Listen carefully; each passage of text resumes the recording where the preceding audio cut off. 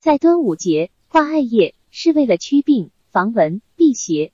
在民间有着清明插柳端午插艾的说法到端午节的时候将艾草菖蒲等用绳子捆绑成为一束悬挂在门上或者是窗户边上。